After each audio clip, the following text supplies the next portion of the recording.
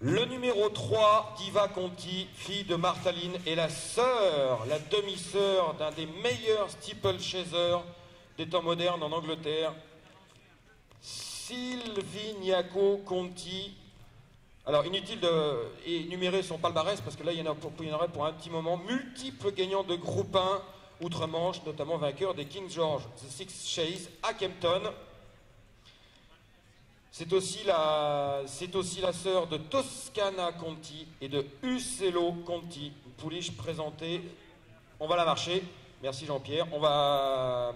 Voilà, une propre sœur de Uccello Conti, puisque cette pouliche Diva Conti est grise comme son père, Martaline, tandis que les autres bons produits de Gazelle Lulu ont été euh, faits avec un autre étalon gris, c'est-à-dire Don Alco, l'auteur de Silvignaco Conti, et Toscana Conti, qui a remporté le prix des guillotines à Durtal.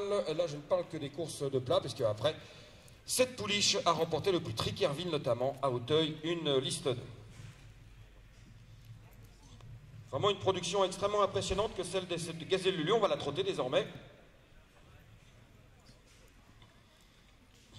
Trois black type et donc un champion, un grand champion en Angleterre.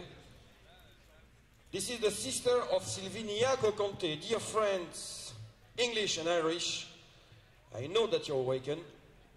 So you can see here the younger sister of Silvignaco Conti, as well as Toscana Conti and Uccello Conti, by Bartoli, presented by Patrick Jobert.